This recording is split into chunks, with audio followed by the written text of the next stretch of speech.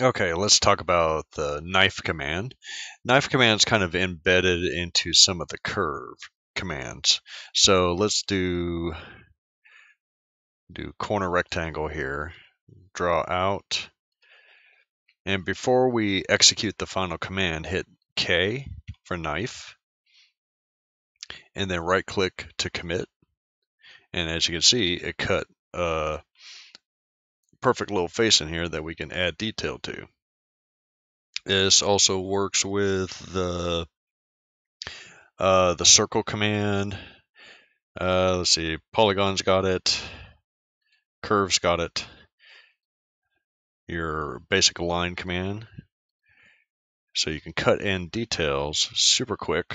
Let me zoom in here and get that to line up correctly.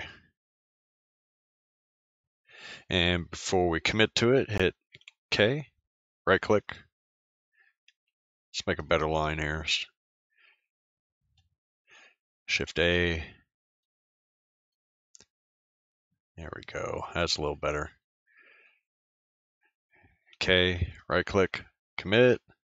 And now you got a little added detail that you can add to it.